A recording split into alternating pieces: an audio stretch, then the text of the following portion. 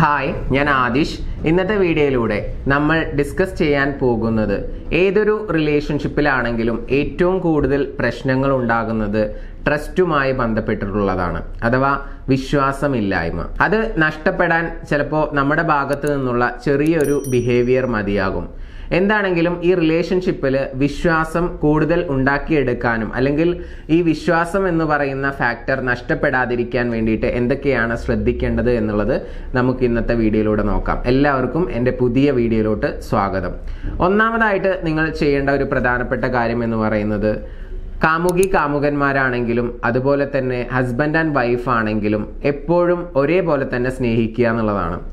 ആ സ്നേഹത്തിൽ കുറവ് വരുത്താതിരിക്കുക. ഉദാഹരണമായിട്ട് പറയുകയാണെങ്കിൽ ഇപ്പോൾ കല്യാണം കഴിഞ്ഞതിന് ശേഷം ആദ്യമൊക്കെ നന്നായിട്ട് കെയർ ചെയ്യുകയും സപ്പോർട്ട് ചെയ്യുകയും ഹെൽപ്പ് ചെയ്യുകയും ഒക്കെ ചെയ്ത ഒരാളാണ്.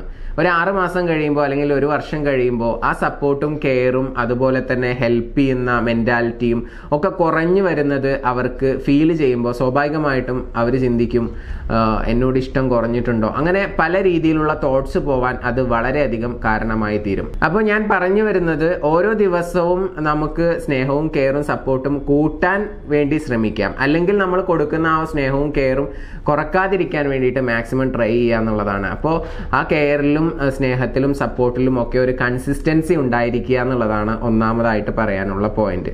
ഇനി രണ്ടാമത്തെ ഒരു പ്രധാനപ്പെട്ട കാര്യം എന്ന് പറയുന്നത് ബി ഓൺ ടൈം എന്നുള്ളതാണ്. ഇപ്പൊ നിങ്ങൾ എല്ലാ ദിവസവും വീട്ടിലോട്ട് തന്നെ വരുന്ന വ്യക്തിയാണെന്ന് വിചാരിക്കുക. എല്ലാ ദിവസവും എട്ട് മണിക്ക് വീട്ടിലെത്താറുണ്ട് ജോലിയൊക്കെ കഴിഞ്ഞിട്ട്. അത്തരം സാഹചര്യത്തിൽ ഒരു ദിവസം നിങ്ങൾ പത്ത് പതിനൊന്ന് മണിക്കൊക്കെയാണ് വരുന്നത് എന്ന് വിചാരിക്കുക. അപ്പോൾ ഭാര്യ നിങ്ങളോട് ചോദിക്കുകയാണ് എന്തുകൊണ്ടാണ് ലേറ്റ് ആയത്? അപ്പോൾ അതിന്റെ സത്യാവസ്ഥ എന്താണെന്നുള്ളത് ഓപ്പൺ ആയിട്ട് പറയുക. ഒരിക്കലും കള്ളം പറയാതിരിക്കുക. അപ്പോൾ ഞാനിവിടെ പറഞ്ഞു വരുന്നത് നിങ്ങൾ ഇന്ന സമയത്ത് എത്താമെന്ന് പറഞ്ഞു കഴിഞ്ഞാൽ ആ സമയത്ത് തന്നെ എത്താൻ വേണ്ടി ശ്രമിക്കുക എന്നുള്ളതാണ്. ബി ഓൺ ടൈം അതുപോലെ തന്നെ ഇതിൽ ഞാൻ എടുത്തു പറഞ്ഞ ഒരു പോയിന്റ് ഡോൺ ലൈ എന്നുള്ളതാണ്. നുണ പറയുമ്പോൾ അത് ചെറിയ കാര്യമാണെങ്കിൽ കൂടി അത് പിടിക്കപ്പെട്ട് കഴിഞ്ഞാൽ നിങ്ങളിലുള്ള ആ ഒരു വിശ്വാസം നഷ്ടപ്പെടാൻ വളരെയധികം ചാൻസ് ഉണ്ട്. അപ്പോൾ ചെറിയ കാര്യമാണ് ഭാര്യ അറിയാൻ പോകുന്നില്ല എന്നൊക്കെ വിചാരിച്ച് നുണ പറയുന്ന ആളുകൾ പ്രത്യേകം ശ്രദ്ധിക്കുക.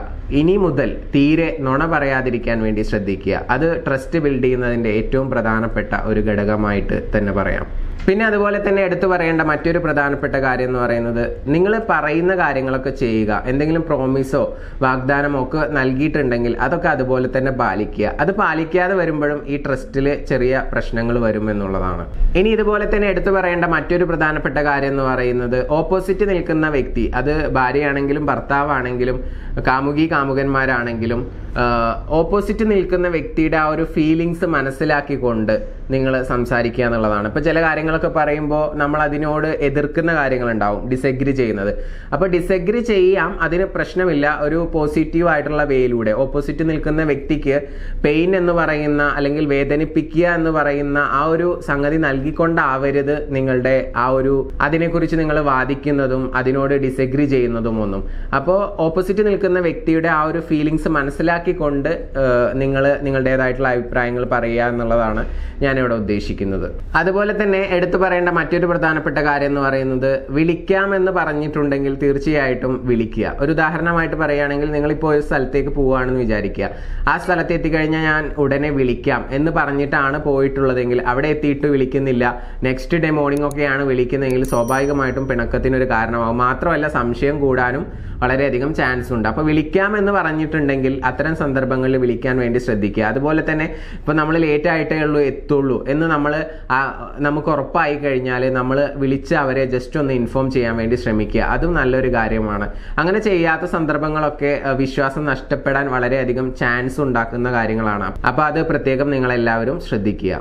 ഇനി അതുപോലെ തന്നെ എടുത്തു പറയേണ്ട മറ്റൊരു പ്രധാനപ്പെട്ട കാര്യം എന്ന് പറയുന്നത് ഓവറായിട്ട് റിയാക്ട് ചെയ്യാതിരിക്കുക. ഇപ്പോൾ നിങ്ങൾ വിചാരിച്ച പോലെ എല്ലാ കാര്യങ്ങൾ പോകുന്നത് ചിലപ്പോൾ എന്തെങ്കിലും റോങ് ആയിട്ടുള്ള മിസ്റ്റേക്കുകൾ ആരുടെയെങ്കിലും പക്കൽ കാണുമ്പോൾ അത് ഭാര്യയുടെ പക്കലായിക്കോട്ടെ ഭർത്താവിന്റെ പക്കലായിക്കോട്ടെ കാണുന്ന സമയത്ത് എടുത്തു ചാടി ഓവറായിട്ട് റിയാക്ട് ചെയ്യാതിരിക്കുക. ഒരു ഉദാഹരണം പറയുകയാണെങ്കിൽ ഇപ്പോൾ ഫുഡ് ഉണ്ടാക്കി.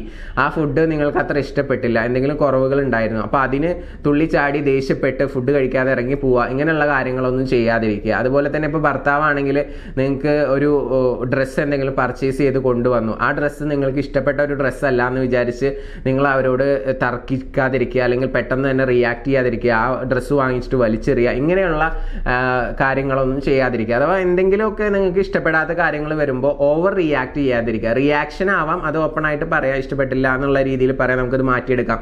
അങ്ങനെയൊക്കെ പറയാം. അല്ലാത്ത രീതിയിൽ ഓവർ റിയാക്ട് ചെയ്യാതിരിക്കാൻ വേണ്ടി പ്രത്യേകം ശ്രദ്ധിക്കുക എന്നുള്ളതാണ്. പിന്നെ അടുത്തൊരു പ്രധാനപ്പെട്ട കാര്യം എന്ന് പറയുന്നത് നമുക്ക് തിരിച്ചെടുക്കാൻ പറ്റാത്ത പല കാര്യങ്ങളുണ്ട്. അതെന്താണ്? നമ്മൾ ഉപയോഗിക്കുന്ന വാക്കുകൾ അല്ലേ? അപ്പോൾ ഭാര്യയെ ആണെങ്കിലും ഭർത്താവിനെ ആണെങ്കിലും പരസ്പരം അങ്ങോട്ടും ഇങ്ങോട്ടും തെറിയൊന്നും വിളിക്കാതിരിക്കുക. കാരണം വായിൽ നിന്ന് പോയി കഴിഞ്ഞാൽ പിന്നെ അത് നമുക്ക് തിരിച്ചെടുക്കാൻ പറ്റത്തില്ല. അതെന്നും അവരുടെ മനസ്സിൽ അങ്ങനെ കിടക്കും. അപ്പോൾ അത് ഫോർഗീവ് ചെയ്യാൻ ചിലപ്പോൾ അവർക്ക് പ്രയാസമായിരിക്കും ഓപ്പോസിറ്റ് നിൽക്കുന്ന വ്യക്തികൾക്ക്. അപ്പോൾ അത്തരം കാര്യങ്ങൾ നമ്മുടെ വായിൽ നിന്നും വരാതിരിക്കാൻ വേണ്ടി പ്രത്യേകം ശ്രദ്ധിക്കുക എന്നുള്ളതും ട്രസ്റ്റ് ബിൽഡ് ചെയ്യുന്നതിന്റെ ഭാഗമായിട്ട് ശ്രദ്ധിക്കേണ്ട ഒരു കാര്യമാണ്. ഇനി ഇതുപോലെ തന്നെ ശ്രദ്ധിക്കേണ്ട മറ്റൊരു പ്രധാനപ്പെട്ട കാര്യം എന്ന് പറയുന്നത് ഭാര്യയോടോ അല്ലെങ്കിൽ ഭർത്താവിനോടോ പരസ്പരം അങ്ങോട്ടും ഇങ്ങോട്ടും അസൂയില്ലാതിരിക്കുക ഒരാൾ വളരുന്നത് കാണുമ്പോൾ അയാളുടെ ആ ഒരു വളർച്ചയിൽ വിഷമം ഉണ്ടാവുക. ആ ഓപ്പോസിറ്റ് നിൽക്കുന്ന വ്യക്തി ഒരിക്കലും വളരരുത് എന്ന് ആഗ്രഹിക്കുക ഇങ്ങ ഇതാണ് ഞാൻ ജലസി എന്നുള്ളത് കൊണ്ട് ഉദ്ദേശിക്കുന്നത്. അങ്ങനെയുള്ള ഒരു ആറ്റിറ്റ്യൂഡ് ഒഴിവാക്കുക എന്നുള്ളതാണ്. കാരണം അത് നിങ്ങളുടെ സംസാരത്തു നിന്നോ അല്ലെങ്കിൽ നിങ്ങളുടെ പെരുമാറ്റത്തു നിന്നോ ഓപ്പോസിറ്റ് നിൽക്കുന്ന വ്യക്തിക്ക് ചിലപ്പോൾ മനസ്സിലാവും. മനസ്സിലായി കഴിഞ്ഞാൽ നിങ്ങളോടുള്ള ആ ഒരു ട്രസ്റ്റ് ചിലപ്പോൾ നഷ്ടപ്പെട്ടു എന്ന് വരാം. അപ്പോൾ ആ ഒരു കാര്യം പ്രത്യേകം ശ്രദ്ധിക്കാൻ വേണ്ടി ശ്രമിക്കുക. ഇനി ഇതുപോലെ തന്നെ ഓപ്പോസിറ്റ് നിൽക്കുന്ന വ്യക്തിക്ക് ഒരുപാട് ആഗ്രഹങ്ങൾ ഉണ്ടാവും സ്വപ്നങ്ങൾ ഉണ്ടാവും അത്തരം സ്വപ്നങ്ങളെയും ആഗ്രഹങ്ങളൊക്കെ പോസിറ്റീവ് ആണെന്നുണ്ടെങ്കിൽ തീർച്ചയായിട്ടും അതിനെ സപ്പോർട്ട് ചെയ്യുക എന്നുള്ളതാണ്. അത് ചെയ്യുന്നതിലൂടെ അവിടെ ട്രസ്റ്റ് കൂടുകയേ ചെയ്യത്തുള്ളൂ. അതുപോലെ തന്നെ മറ്റൊരു പ്രധാനപ്പെട്ട കാര്യം എന്ന് പറയുന്നത് നല്ലൊരു ലിസണർ ആവുക എന്നുള്ളതാണ്. അപ്പോൾ അവർക്ക് എന്തെങ്കിലും പറയാനുണ്ടെങ്കിൽ അതൊക്കെ കേൾക്കാനുള്ള ഒരു മനസ്സുണ്ടായിരിക്കുക. അവർ പറയുന്നതിന് മുമ്പ് തന്നെ അത് കേൾക്കാനുള്ള ഒരു മൈൻഡ് ഇല്ലാതെ വേറെ എന്തെങ്കിലും കാര്യത്തിൽ ഏർപ്പെടുക അല്ലെങ്കിൽ അത് കേൾക്കാതെ പോവുക അങ്ങനെയൊക്കെ ചെയ്യുന്ന സമയത്ത് സ്വാഭാവികമായിട്ടും അവർക്ക് നിങ്ങളോടൊരു എന്താ പറയുക ഒരു വെറുപ്പാണ് ഫീൽ ചെയ്യുക. എന്നെ കേൾക്കാൻ പോലും തയ്യാറാവുന്നില്ലല്ലോ എന്റെ പാർട്ട്ണർ അല്ലേ അങ്ങനെയൊക്കെ ചിലപ്പോൾ ചിന്തിച്ചു പോകും. അപ്പോൾ പ്രത്യേകിച്ച് നിങ്ങൾ ശ്രദ്ധിക്കേണ്ട ഒരു കാര്യം ഭാര്യയാണെങ്കിലും ഭർത്താവാണെങ്കിലും നല്ല ലിസണർ ആവുക എന്നുള്ളതാണ്. ഓപ്പോസിറ്റ് നിൽക്കുന്ന വ്യക്തിക്ക് എന്തെങ്കിലും പറയാനുണ്ടെങ്കിൽ അത് കേൾക്കാനുള്ള ഒരു മനസ്സ് നിങ്ങൾക്കുണ്ടായിരിക്കുക എന്നുള്ളതാണ്. ഇപ്പോൾ ഇന്നത്തെ വീഡിയോയിലൂടെ നമ്മൾ ഏകദേശം പന്ത്രണ്ടോളം കാര്യങ്ങളാണ് ചർച്ച ചെയ്തത്. ഈ പന്ത്രണ്ട് കാര്യങ്ങളും നിങ്ങൾ ഫോളോ ചെയ്യുകയാണെന്നുണ്ടെങ്കിൽ റിലേഷൻഷിപ്പിൽ ഏറ്റവും കൂടുതൽ ഇഷ്യൂ വരുന്ന ഒരു കാര്യമാണ് ട്രസ്റ്റുമായി ബന്ധപ്പെട്ടിട്ടുള്ളത്. അപ്പോൾ അത് നിങ്ങൾക്ക് സോൾവ് ചെയ്യാനായിട്ട് സാധിക്കും.